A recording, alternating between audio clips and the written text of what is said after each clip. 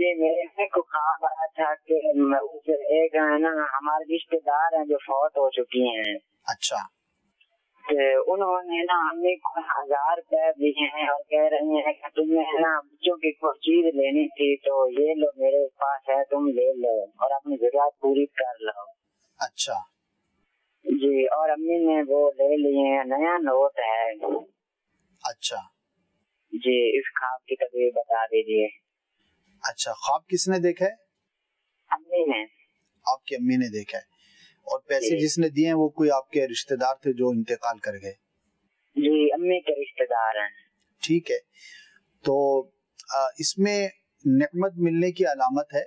آپ کی والدہ کو کوئی خیر کوئی بھلائی کوئی اچھی خبر جو ہے وہ ملے گی کوئی خوشخبری ملے گی۔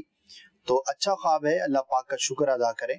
اور ہوتا یہ ہے کہ بعض اوقات مردہ کوئی چیز دے تو لوگ پریشان ہو جاتے ہیں، تو اس میں پریشانی کی حاجت نہیں ہوتی، بلکہ ہر خواب جو مردے سے متعلق ہو، برا نہیں ہوتا، اس کی پازیٹیو اور اچھی تعبیریں بھی ہوتی ہیں۔